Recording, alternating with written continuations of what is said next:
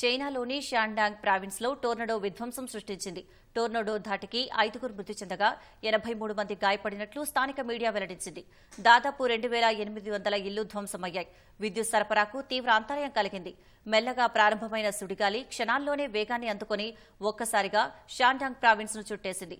పెద్ద హోరుతో వీచిన గాలులకు ఇళ్ళ పైకప్పులు గాల్లోకి ఎగిరిపడ్డాయి.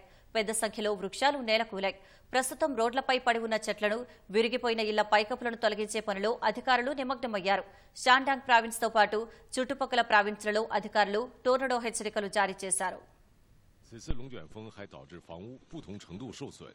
记者在白寨小区看到，龙卷风过后，整个小区除停水停电以外， 七百三发生后，东明县成立了应急救援指挥部，一千二百多人参与救援，目前救援还在进行中。消防救援人员迅速赶赴现场，看到受龙卷风影响，厂房顶。